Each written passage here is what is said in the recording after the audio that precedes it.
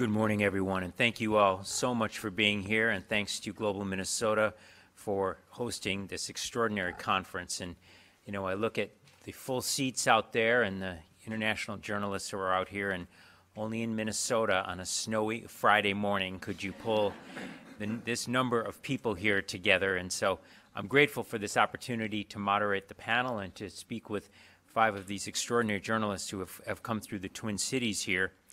And so there are so many dynamics to talk about, of course, not just in terms of the nations that these journalists represent and report about and for, um, but their reflection perhaps on how they perceive the United States and how developments that we saw in the previous excellent lecture are impacting their countries and their work as well.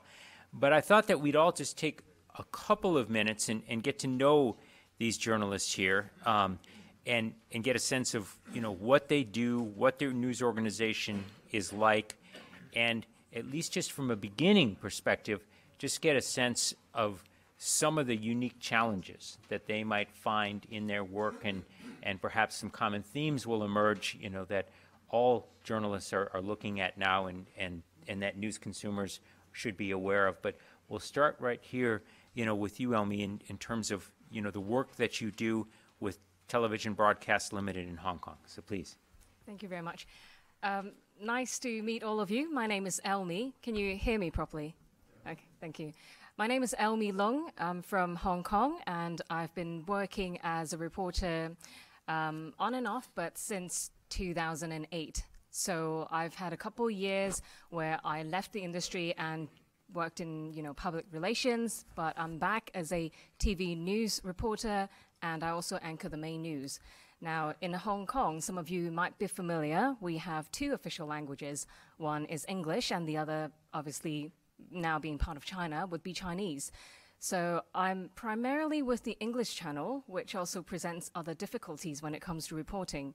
Um, namely because government officials are now very accustomed to presenting and speaking to the press and the public in Chinese. So if we were to wait for an official line to take from the government, it would come out a lot later than the Chinese version. So that's just one of the challenges that I face in my daily work. Thank you very much. And before we turn to your fellow panelists in a, in a moment, I just wanted to mention that everyone in their packet today um, got a question card. So I certainly want to leave some time to get your perception of these issues, know what you would like to ask these journalists, and if these five up here are anything or any bit like me, you'll get some of these questions, and I'll wonder, why didn't I ask that? Or, you know, why aren't you up here asking asking these questions? So we look forward to your participation in the discussion and, and you know, certainly um, Tim and, and others will be collecting these and, and we'll be going through these here. But I, I thought that I would turn to Andersson and, and get a sense of, um, you know, what, what you do um, for your news organization. And, and as you begin to discuss this, Andersson, I, I know, you know, your news organization is, is based in Ecuador, but if I'm not mistaken, you do some reporting out of Venezuela as well. Nice to meet you. I am Andersson. Uh, sorry for my pronunciation. I'm really nervous. This is the first time speaking English from on stage. Uh, I'll try to do my best. I I found a a social media news outlet like a year and a half ago with a partner in Ecuador. We are trying to engage millennials to a political conversation. We are a really young media outlet in Ecuador, just competing with uh, traditional media who have been there uh, for more than a century and trying to be truthful and and to have a different way of communicate news. Uh, we try to to inform the people uh, using memes, uh, using WhatsApp, using uh, the the the language we use when when we we speak with real persons, not as a journalist. I, we don't use ties when we make our shows. Uh, I am personally an investigative reporter. I've been covering government corruption and organized crime and drug trafficking in my country, and I I have a, a little bit experience in in especially in, in political corruption. We run a lot, a lot of stories who led the vice president of the republic, Jorge Glass, to go to jail. He's in jail now, and we're trying to to take actions for recovering the democracy. As you may know, Ecuador is it it used to be until this year one of the two non-free countries, uh, non-free press countries in South America. one is Ecuador, which where I live, and the other one is Venezuela, where I was born. So I I know a little bit about no free press in my countries. Uh, that's it. We're going to turn to some of those, and in fact, you know, previously mentioned in, in the lecture was um, about the World Press Freedom Index. So we're going to talk about press freedom in each of your nations, but I thought we'd just continue da down the line here and, and get, get a quick sense um, from Tim Watkin, you know, what your role is with Radio New Zealand, and of course, a, probably a different set of challenges, but distinctly different um, environment to, to, operate in. Indeed. Good morning, everyone. Kia koutou katoa. Um, we, yeah, very different. I think I'm probably the odd one out here, and, and the media market that I work in is probably most like the United States, although there are distinct differences. Um, uh, I'm 25 years a journalist. I've worked in print, TV, and radio. Um, I now work for Radio New Zealand, which is the uh, public broadcaster in New Zealand. Um, the trends that we're seeing, the kind of uh, things that are happening in the New Zealand media market, um, as I say, are probably familiar to anyone who knows the American market. We are, where our newsrooms are shrinking, uh, they are getting younger. Uh, revenue is falling, especially in print, but also in television. Radio is relatively stable. Um, I didn't go into radio, I haven't switched to radio by chance. It's certainly um, where a lot of the, the, stability, but also the innovation is happening. I run the podcast team at RNZ, and um, podcasts are a, an exciting new way to be able to to tell stories um, in a different medium. Um, we're seeing mergers and consolid- um, consolidations. Um, some are being uh, rejected. We just had two of our, our two main print organisations uh, in New Zealand. Our Commerce Commission uh, rejected their application to, to merge um, for the sake of trying to uh, keep a plurality of voices um, going. We're seeing a huge move to online, and within online, a huge move to phones. Um, 70% of the online of our online traffic at RNZ is is, um, is now mobile. Um, Google is increasingly our homepage. Um, social media is increasingly our, our platform, um, and our quest for younger audiences is um, ongoing. Well, thank you very much. And I thought we'd just turn to your colleague on, on your left, um, Bunmi Yekini, in terms of your role with Radio Nigeria and um, when we get into the part of the conversation about some of the challenges, I, I you know, would note that, uh, you know, certainly there are, are, many there. And then as we saw in the previous lecture, um, news developments in your country reflective of some of the dialogue in this country. But why don't you just briefly tell us, if you will, what, what you do in Nigeria? Thank you. Good morning, everyone, and I'm delighted to be here. Um, I'm a maternal and child health advocate. I report, I produce content for Radio Nigeria, the largest radio network in Africa. Um, as you may know, Radio Nigeria is a government owned radio station owned by the government of the day. Whoever is in power owns the radio station. So, um, freedom of press is limited. You are censored. You have no right to take what does not belong to the government, even if it's coming as um, a slap to the people. But you, as a journalist, you have to know how to modify it. Um, working with Radio Nigeria has been, even though it's government owned and it's, it's a bit, um, what's the word now? I don't use the wrong word. It's a bit, is is enclosed, meaning that you have to follow the regulation. You can't bend rules, even though we have one of the most talented, all the most talented people working in the broadcast media today.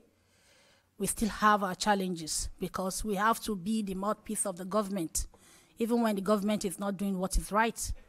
And you have no right to say no to the government because they are your um, they are your payers. They pay your salary.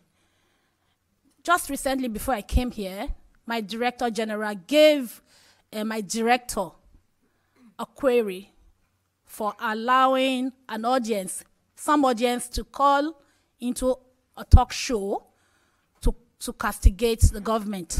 That's how bad the situation is as far as media, um, public owned radio stations or TV stations are in Nigeria.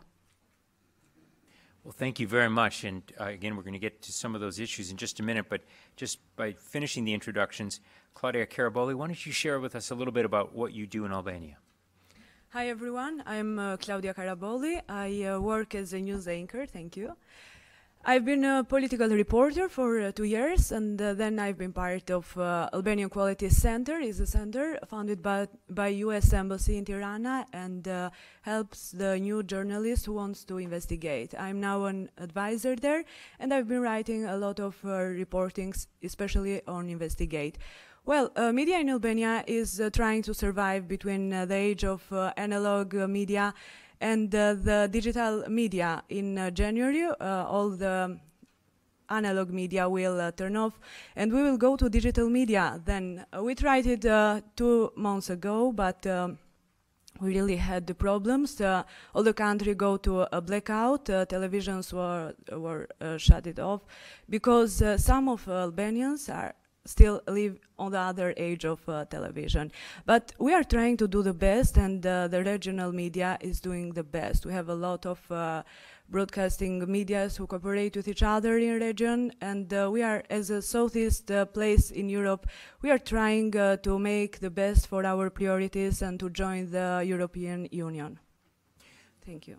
Thank you, Klaudja. And I'm going to stay with you. Um, yeah. And, you know, when we look at the Reporters Without Borders World Press Freedom Index, Albania ranks 75th out of 180 countries. Yeah. Um, if you could describe to us what's your sense in terms of the direction that press freedom is going in your country, and what are you and your fellow journalists doing to try to improve that ranking? And do you sense that the public is on your side, and, and are they having playing any role in this? Well, I think uh, this rating of uh, Reporters Without Borders is based because uh, on the things that uh, Albanians reporters or um, making news and reporting everything is affected by political issues or political interest and uh, business interest because still in Albania all the medias are connected with business because they need funds and that's the big problem there especially politicians. Uh, they have uh, business to in Albanian and uh, they can uh, go through media uh, by funding uh, different programs, different shows by their monies. They are a lot of televisions who are known as governmental televisions. And that's why I think that Reporters Without Bo Borders rank, rank Albania in 70, 75th place. But we have been in 85 on uh, 2006, and I think it's a good rank now. we are moving. so it's improved a, a little bit here. and and yeah. Andersson, you know, unfortunately, and this is a story that everyone in this room has followed, um, Venezuela in particular has not only not improved, but has plummeted to 143rd, Ecuador itself 92nd, and, and share with us, you know, some of the challenges in both nations and you know, the degree that you and your fellow journalists um, are working collaboratively to, to try to improve this situation? Okay, I have to speak first for Ecuador, which is which is still a country, eh, not as Venezuela, which is a failed state. In Ecuador, uh, we had a president uh, who declared the press the enemy of the people and the state. We had a president who was uh, who decided to not answer the journalist questions in press conference because he don't consider the question was uh, allowed to his dignity.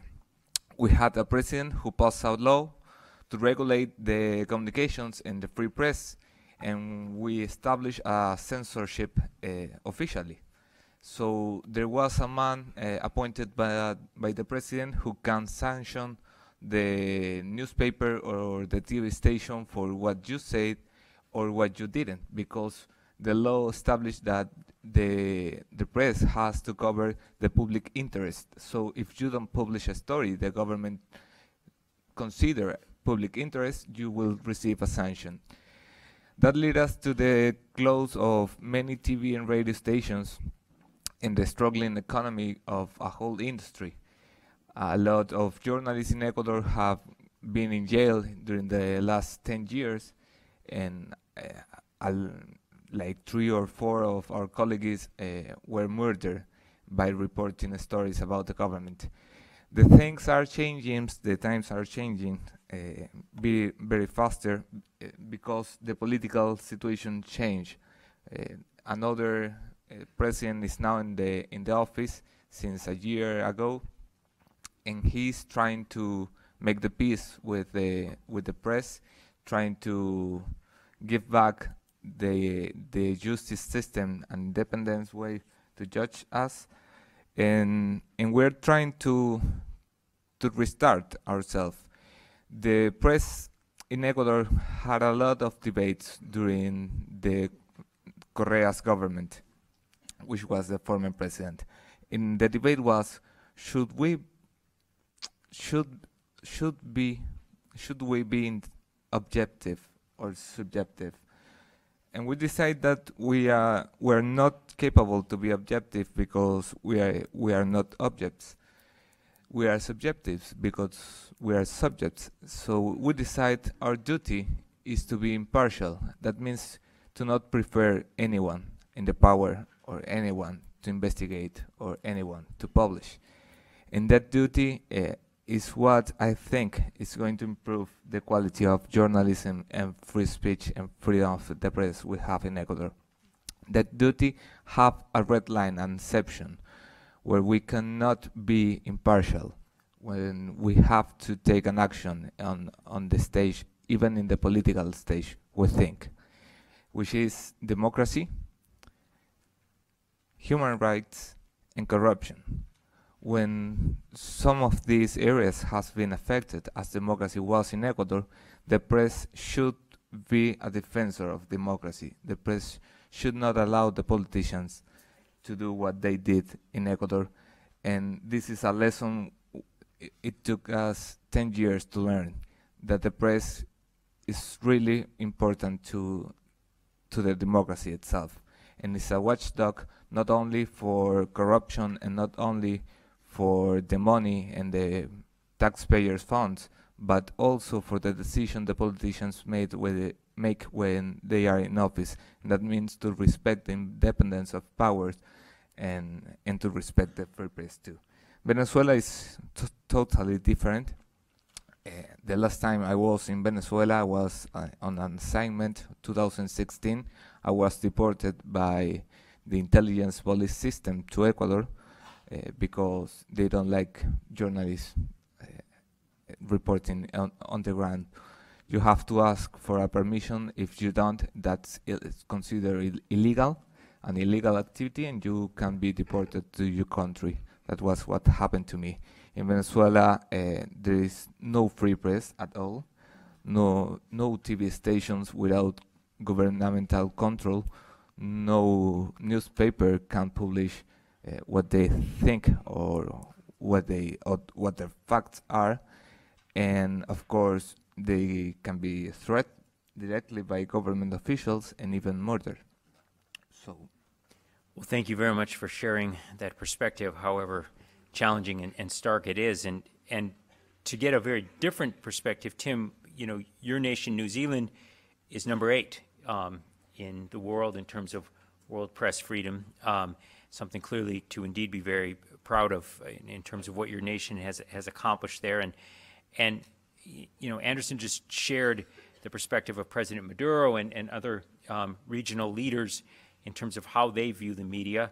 New Zealand, of course, has been noted here for having a very young um, Prime Minister, Ardern. Um, what, what's her approach to the press? How you know how do New Zealand media interact with with the government, and describe a little bit about what's happening to achieve that number eight status? Sure. Um, we, you know, I, I am a bit of a standout here. I, I, always feel slightly humbled when I come talk after someone like Andersson. I go to work each day completely comfortable. I'm going to go home from work each day, um, and a number of the people here in this room don't. Um, don't have that same assumption. So um, we are very blessed where we are in New Zealand, um, uh, but that's not without its own issues. Um, our biggest issues would be around access um, and about the impact of social media, probably. Um, we still have um, problems uh, getting politicians on the record, and to, to front up, I spent uh, eight years running um, the equivalent of, say, a Meet the Press or Face the Nation program um, in New Zealand. And the ability to get politicians to come on the show each week and actually be confronted by an interviewer is getting increasingly hard. Um, the spin doctors, the advisors, the political advisors um, are very risk averse these days um, and very reluctant to put um, ministers and people in power into a situation where they actually have to be held to account.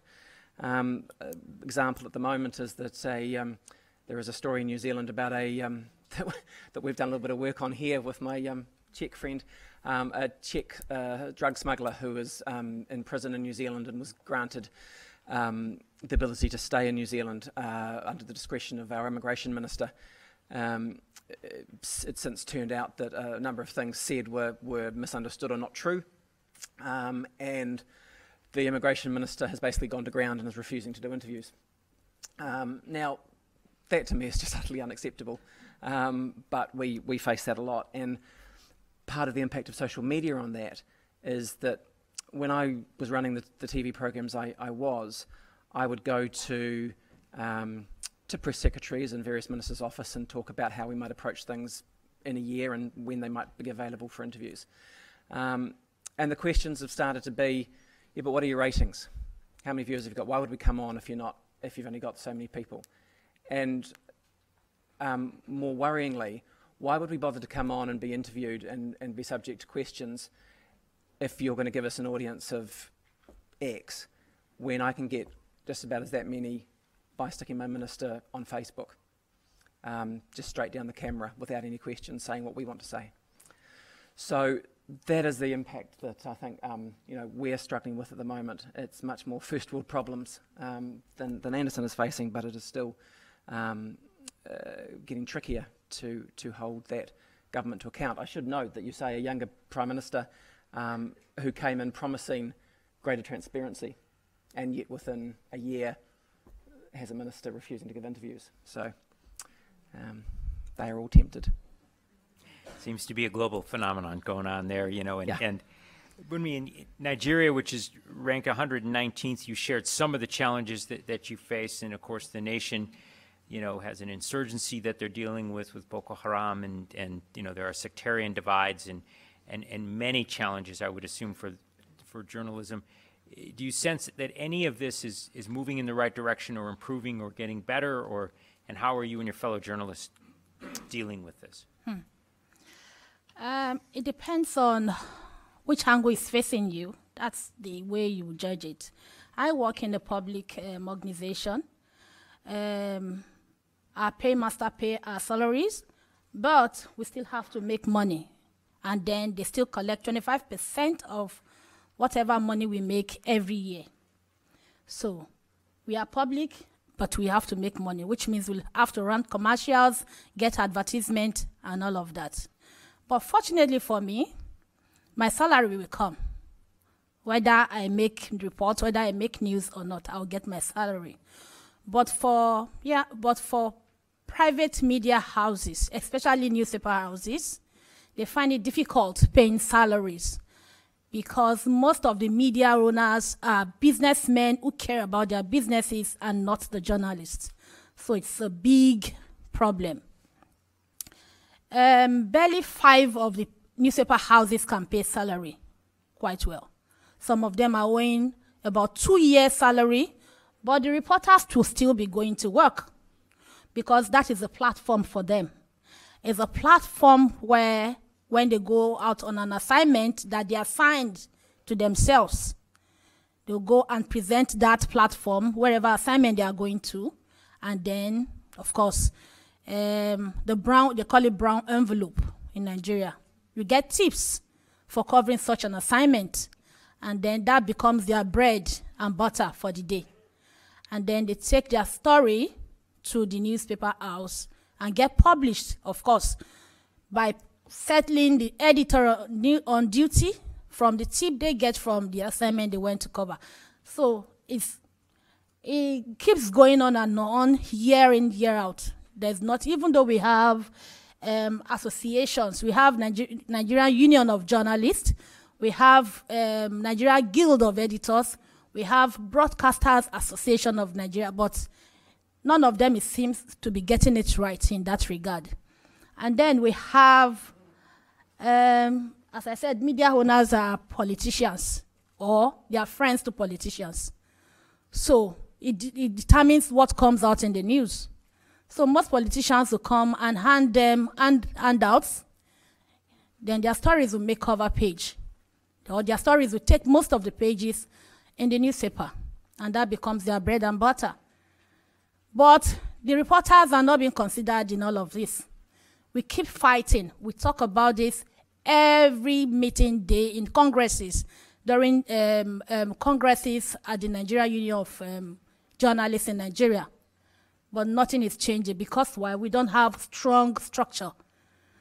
That is one of the very big problem. The structure is faulty from foundation. When you put journalists to, they are corrupt. Even managing union of journalists is a big problem, as big as the union is. So we have a lot of issues bothering, I mean, wrong with um, Nigerian journalists. But because I am from the private, I mean, public station where I get paid, I may, I may decide to overlook those problems, but it is still our problem. You know, and most times when I go out, I do a lot of um, rural community issues, um, maternal health. We have one of the highest maternal deaths in the world. So I do a lot of those issues. But if I see that whatever story I'm bringing to the house, we disrupt the pattern of my house, of my in-house style. I am most times commissioned to do those stories for private organizations. I mean NGOs who run uh, maternal health issues. So it's, it goes on and on and on. Well, thank you very much for sharing that perspective, and thank you all very much for the questions, which, as anticipated, are just terrific. And so we're going to turn to Elmy here because some of the questions are very nation specific, some are broader and some are about our country and how they perceive it and, and press freedom. So, somewhat on the same line that we're asking here, but I'll be specific with the question. Um, and just for the record, Hong Kong is, is ranked number 70 out of 180 on World Press Freedom Index. But the question is Hong Kong used to be a British holding, and some still want British rule or independence. How do you handle this now that you're ruled by a totalitarian country which regulates news?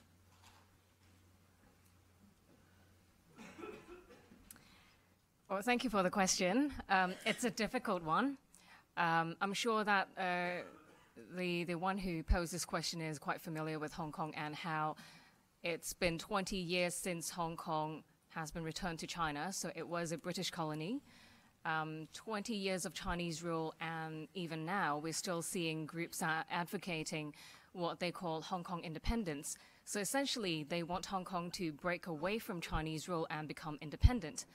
Um, and that's been a huge problem. Uh, it's been in the news a lot because it's a huge problem for the Chinese authorities who does not want China, uh, Hong Kong to break away from China. And on an almost daily basis, you, you hear officials coming out to give the official stance that, you know, it has, anything has to abide by the Chinese constitution and this separatism just should not happen and should not be discussed.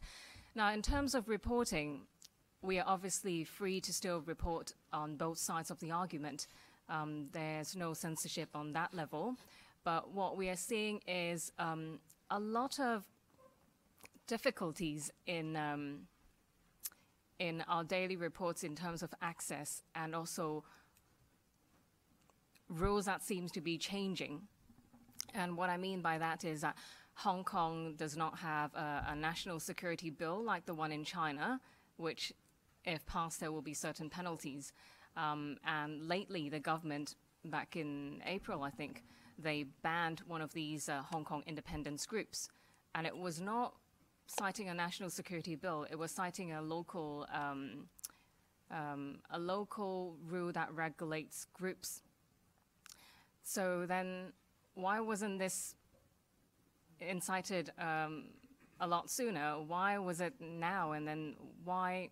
So, so a lot of uncertainties there, and why government officials so keen on talking about that when they were asked about other social issues.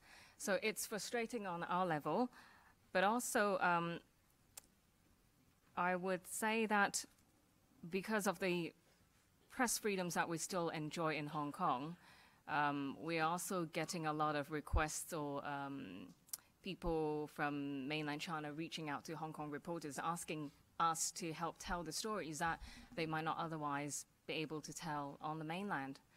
So one example I can give you is that um, for our station, we're based in Hong Kong. Um, we're the largest uh, private TV stations in Hong Kong with a very steady viewership numbers. Um, given our close proximity to China, to the Chinese mainland, we have bureaus in Guangzhou and another one in Beijing, which is the capital. Um, basically, the uh, Beijing reporter's mobile number is like an open secret. When I was stationed in Beijing for maybe two months of a year, you would get phone numbers from random people from different Chinese provinces asking you to tell their stories. Sometimes it might be a dispute between farmers, it might be a commercial dispute, sometimes it's just like, uh, can you help us? We've got this story, and it would be great if you can come down. But China is a big country, and do you always, first of all, can you verify that what they're telling is true? And do you have the time and money to cover that story? So it's, it's definitely a challenge um, that we face in Hong Kong. And in Hong Kong, I personally feel that there are more barriers set uh, for reporters to tell their stories than in the past, in terms of press arrangements, in terms of um, the deadlines that we have to meet, which means that we might not be able to spend that much time on a story and go in depth. So that's a problem that I, I feel it's uh, really making an impact on the news industry. Thank you. Some of these questions are just terrific and could be answered by all of you. We may not turn to everyone for each question so we can get to as many as, as possible. Klaudja will bring you back into the conversation. Um, there are several questions somewhat framed by this one. Have you seen cases where disinformation groups, as we saw in the previous lecture, try to pose as your news outlets online? Um, and in general, to what degree are, are you and your colleagues running into the issue of fake news and fake news being a real thing, you know, in, in terms of, of disinformation that outside groups or groups within your country are trying to push forward? Um, l- let me start. Um, in Nigeria, it will be difficult to curb fake news. Fake news is a global thing.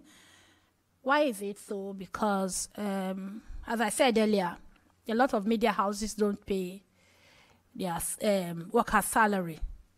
So, it is who pays the piper, they take the tunes. And most of these um, reporters, when they go out or they get called, by people who want to spread the fake news. People deliberately spread fake news. It's intentional. It's not. It's not a robotic um, formulation. They spread it. They use it so that they can get. It's either get um, attraction. I mean, fame. Either be, become famous positively or negatively.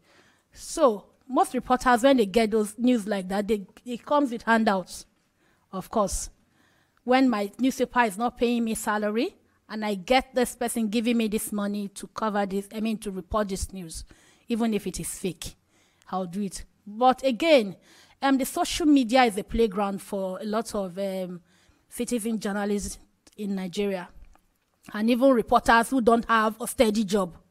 So it is one of the best way of spreading fake news. So they go there. They know a lot of people will view it, they will read it, they will talk about it. So it, it starts spreading. A lot of these people doing that don't have good job. They don't have where they will see um, salary. So that is what they depend on because somebody is definitely paying for those news to, to be published. It didn't just come there. So that's the situation in Nigeria. It will continue, except if the government of the day take a, a, a bold step by giving them. Um, Nigeria again is a is a country that breaks law. We are lawless.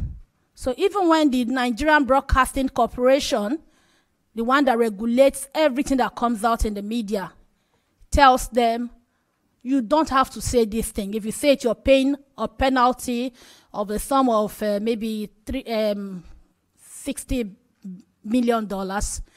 Some media houses will pay that fine and then break the law because they know they will make a lot of money after that. That's how it works in Nigeria. Thank you. And, and Klaudja, of course, Europe has, has struggled with this challenge, Uh, uh, particularly Southeast Europe. So, In fact, we have a lot of problems with fake news. We are in Albania. We have uh, three million citizens, and we have uh, 900 portals or online media. So everyone from the students can find work to pl- to a place to work there.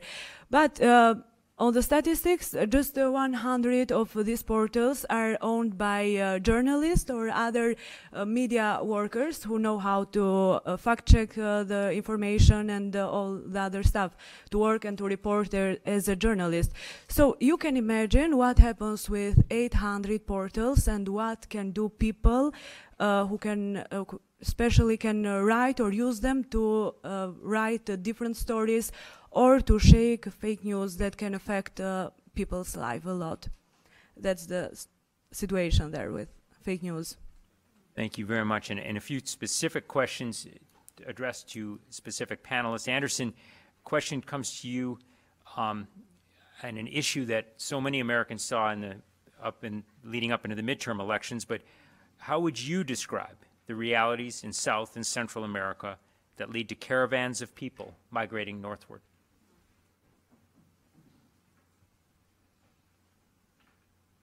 I think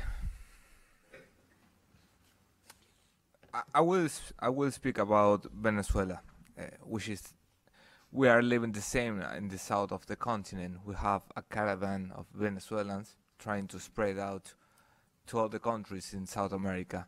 Why? Uh, because uh, Venezuela is not a country anymore. I mean, I I've been there in 2016. The first night I spent on my city, Caracas, the capital city. I went to a hospital.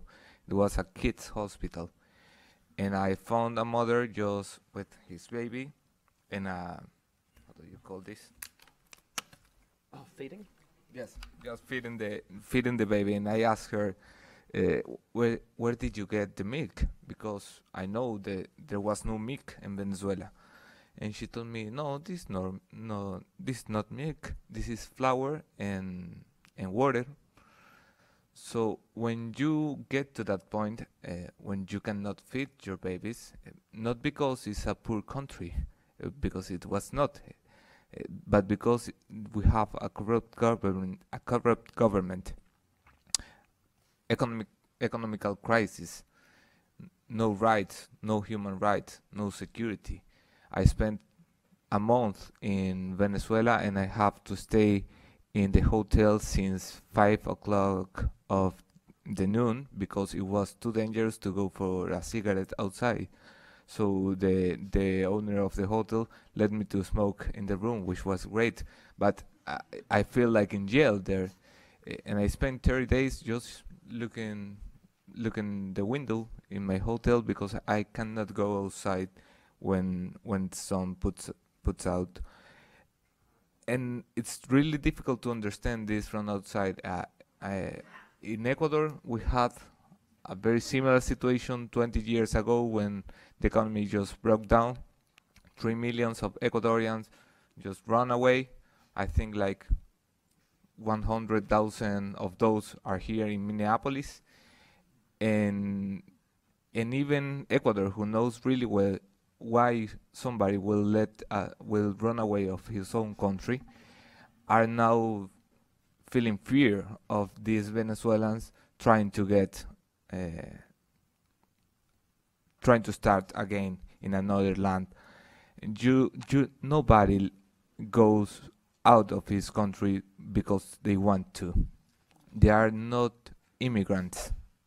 The immigrants are those who say, "Okay, I'm going to another country because I want to live there."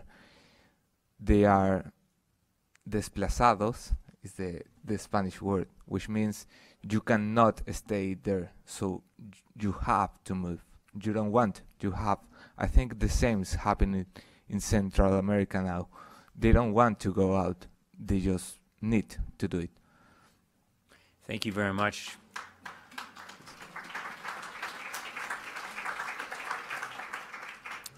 We have many internationally interested young people here, and there are several questions uh, about uh, um, young people and their role in this. One is specifically um, addressed to you, Tim, so I'll, I'll ask you, but somewhat representative of a lot of these great questions.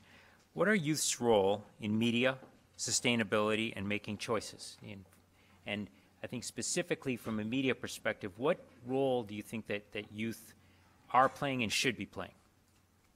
Um, they need to teach us how to talk in their language um, so that we can actually keep communicating. Uh, there's a lot of us who.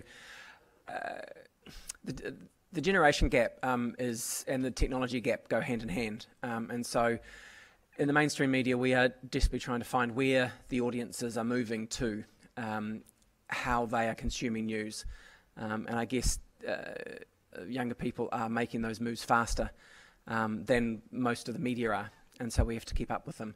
Um, so partly your uh, your role is to maybe slow down and let's catch up.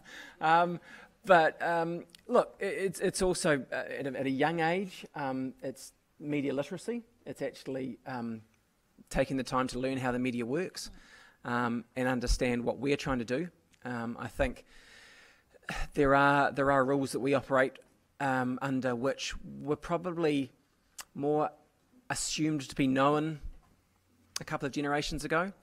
Um, some of the basic rules of of news reporting and, and how the media works. I mean, for example, the, the gap between opinion and news.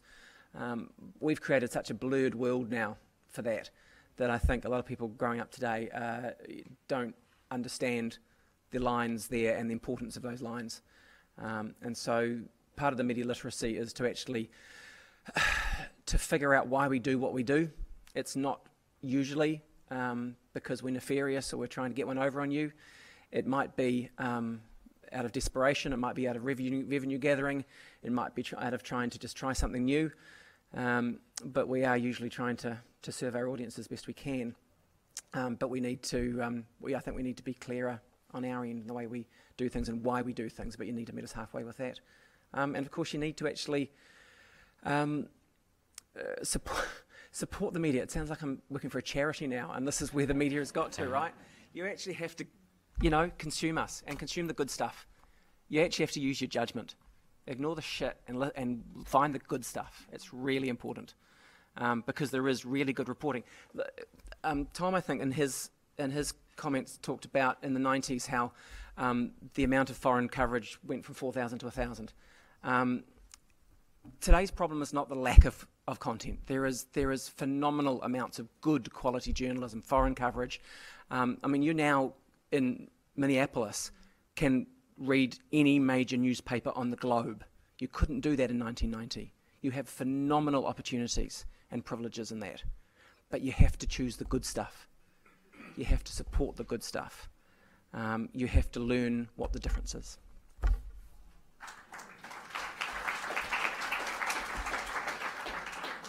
Thank you for that response. And again, thank you for all the questions. And among the questions, I got a note that we can go to about 1140, which gives us 10, 11 minutes or so.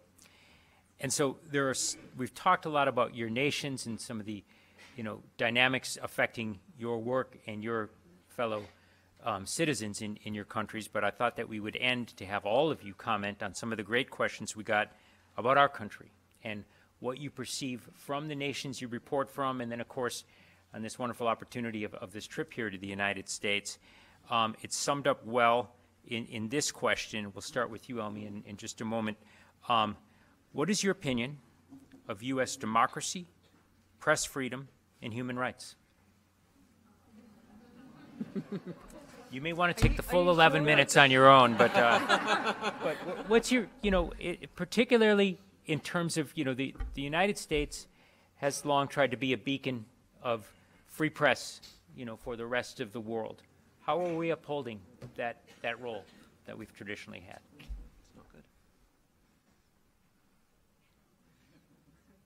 The Or aren't we? Uh, Yeah. you know, I'm, I'm actually glad for a second that I'm not like live on air when the anchor throws me that question.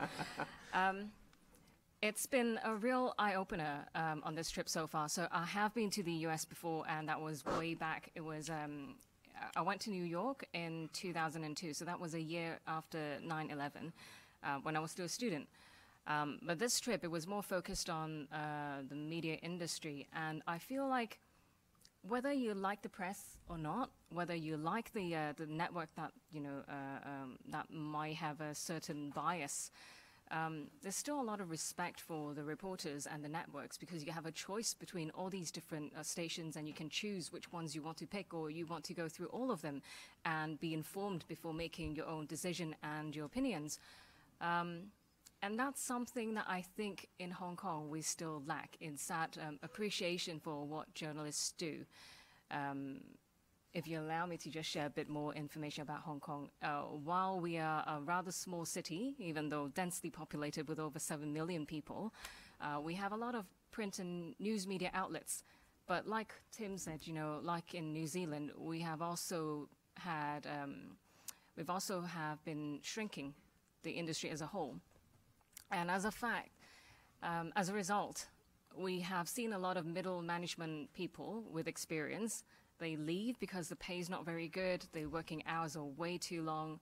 Um, I think it was someone who said they, they go to work. Was it you again, Tim? Um, So knowing I'll go home. uh, yeah, what time do you go home?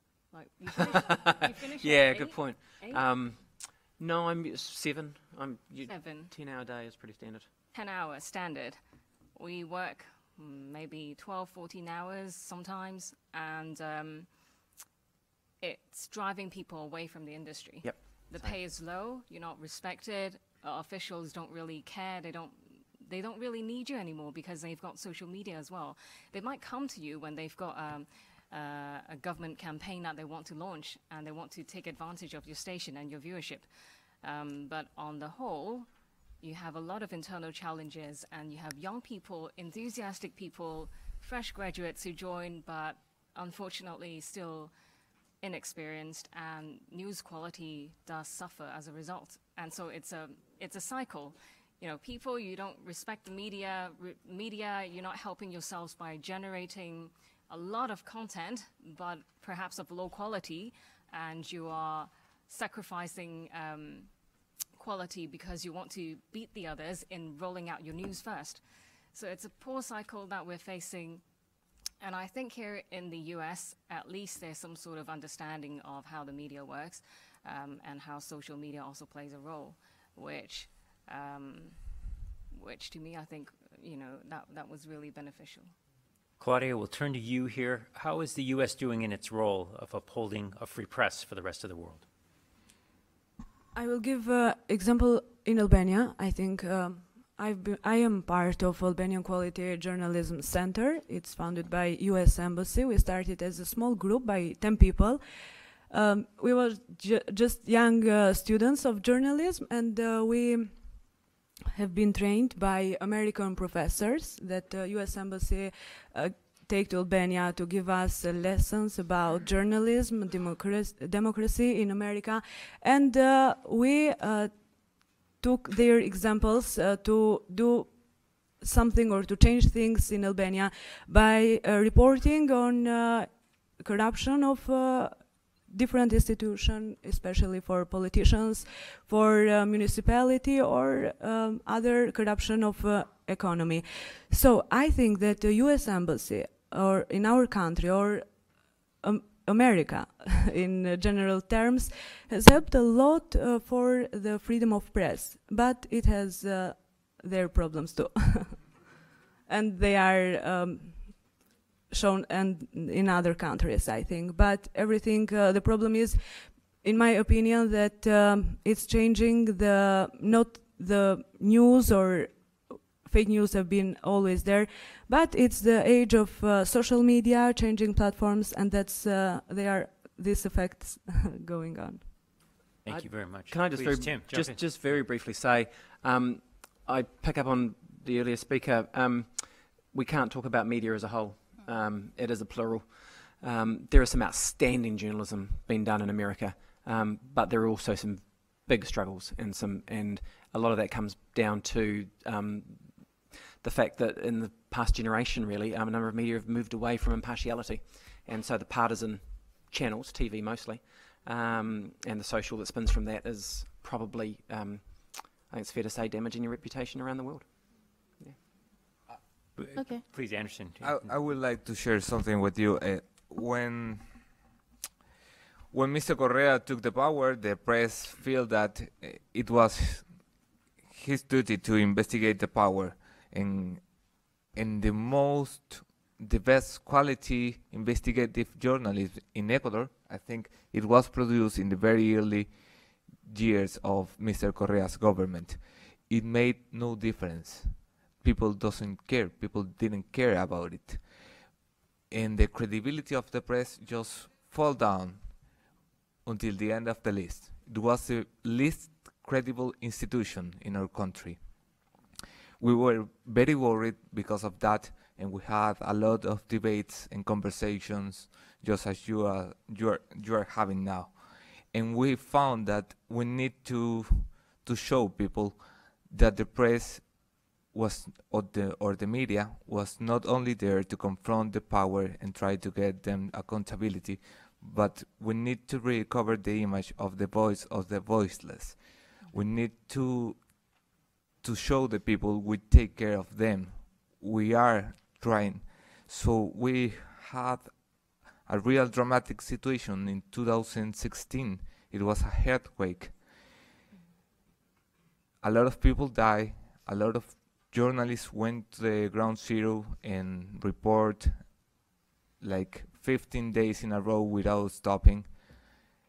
And since that day, you can see in the in the polls, the credibility of the press became to to increment. Now we are the second most credible institution again.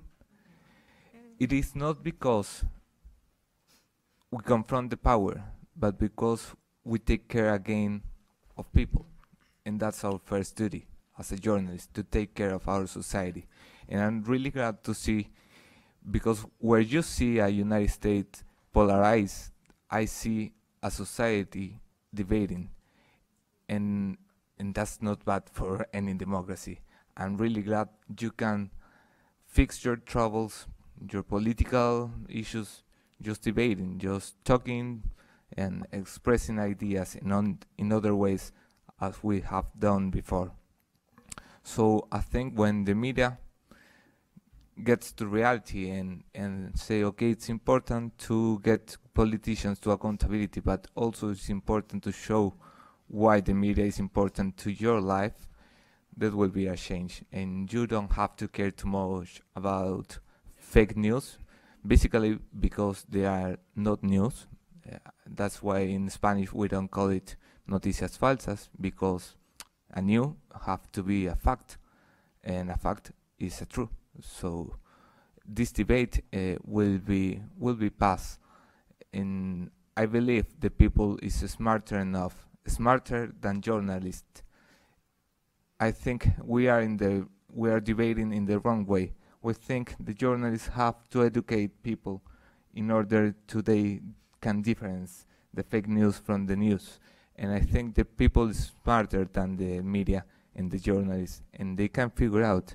That's why when you see a fake news, you will wait until see until see it in a in your preference uh, media outlet. And it's okay for me. What I I don't agree really with Tim in this. I, I think it's great for a democracy to have partitions media outlets.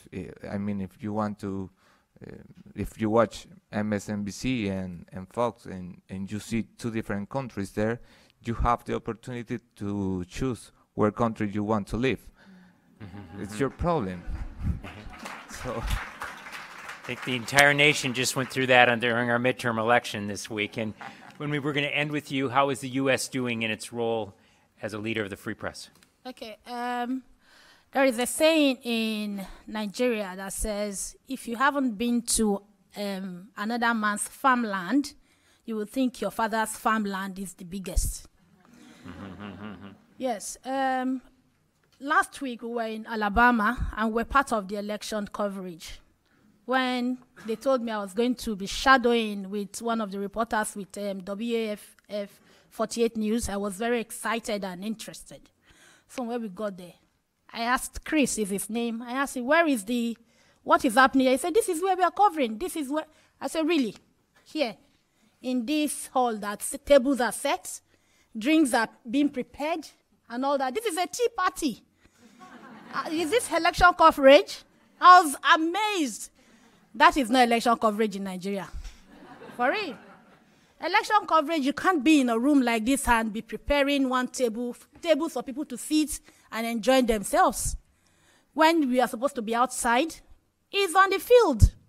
You know, you have people, journalists running elter skelter, trying to capture people who are sn- uh, snatching ballot boxes, trying to see who is making um, election um, bribe and all of that. And you come and sit in one fine hall, Jackson Center, and you say you're covering election. That is new for me. And in Nigeria, election is just one day, and you have to have a public holiday. But here, you have a whole week. You do, election in Nigeria, two weeks, right? That is new to me, and I'm so impressed. I just wish Nigeria would be able to copy this, but I doubt it. yes, because we are difficult people, I must say. Because we have a lot of stubborn people who would rather go against the law than follow the law. For real. And it was an eye opener, even though I know USA has its own problem, but I think it's still a learning ground. I know we have a lot of pros and anti Trump. He has his issues, and people have their issues. But I think, and of course, they are gold standard. People look up to them as the number one when it comes to politics, economy, social, and all of that. They have their issues too. But I think compared to Nigeria, they are still, they, they should be followed. Yes, because I've never seen an election such as, wow, you come to a gathering and you sit down, you cross your legs, and you're drinking and you're waiting for the election results to be announced. That is new. ha! But can I just add one Please, thing to yeah, that? Elmy, please. Um, Bunmi, what, you- what you said about covering the elections, um, um, I just want to share that in Hong Kong while we, we say we have a free press. Um, the government restrictions in covering any sort of um, official uh, press conferences, they've been getting stricter and stricter in the sense that when we first start, when I first started, um, you were able to get really close to the officials. Um, you were not like, for example, in this um, hall, you're not barred from going up to them. They didn't put like a, a banner, like you know, one of those uh, crime scene stickers, just to divide the press area and the official like speakers area.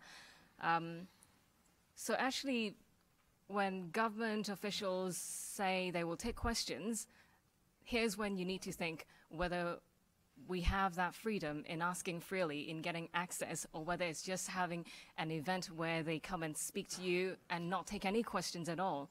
Like, how, how do you judge press freedom? So that's something that, you know, I, I feel very strongly about, that, that access to getting information and how that's slowly but steadily shrinking. Well, we have a presidential election here in very quick time here. We'd love to have all of you back to observe, to comment, and to be that You reporter. pay, we'll be here. Exactly. Elmy Andersson. Thank you all to our panelists. And thank you all for the terrific questions tonight. Thank you.